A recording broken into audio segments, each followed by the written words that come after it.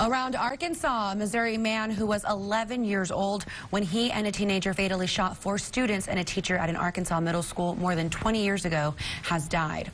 33-year-old Drew Grant died in a head-on crash with another vehicle on a northeastern Arkansas highway Saturday night. Grant, who had legally changed his name from Andrew Golden, had been living in Jackson, Missouri. The driver of the other vehicle was also killed and three other people were injured. Golden and Mitchell Johnson, who were were 11 and 13 at the time, set off a fire alarm on March 24, 1998, and shot at people as they evacuated from the Westside Middle School in Jonesboro, which is northeast of Little Rock. Golden and Johnson were tried as juveniles and were expected to remain in custody until the age of 21. Johnson was released in 2005 and Golden was released in 2007.